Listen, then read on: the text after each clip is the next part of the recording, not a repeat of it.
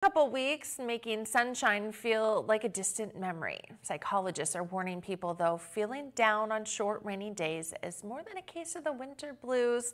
Our Kara Jeffers talked with several local psychologists to learn about symptoms and ways to chase the blues away. Good morning, Kara. Good morning, Tracy. Seasonal depression is one of those things that just makes sense. The days are cloudy and dark and cold, and we're all a little miserable. However, it's something that can be easier to overcome if you know why you're feeling down and how to improve. Tis the season for SAD, seasonal affective disorder, or more commonly called seasonal depression sad, as we call it, is something that comes along in those winter months or the months that we don't see a lot of sun. And a big factor of that is you're not getting your vitamin D and some vitamin B. Less sun also reduces serotonin levels, and shorter cloudy days change your circadian rhythm and generally how you spend time. The result?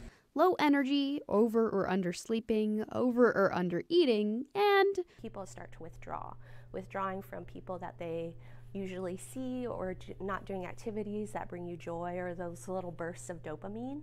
And so it makes it worse for you. You can combat the sad though. So the more that you connect with people and connect with yourself, the better your mental health is going to be. The less you do that, the harder sad is going to hit you. You can also start using a light box. It's um, UV rays, and so it mimics what you're lacking during this time of the year.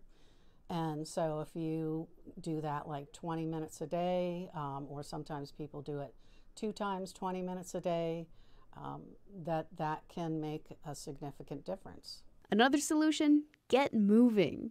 With SAD, a lot of it comes from reduced activity. Um, like we're just not moving as much in the winter, right? And like we know that like Legally Blonde says exercise releases endorphins and endorphins make you happy right?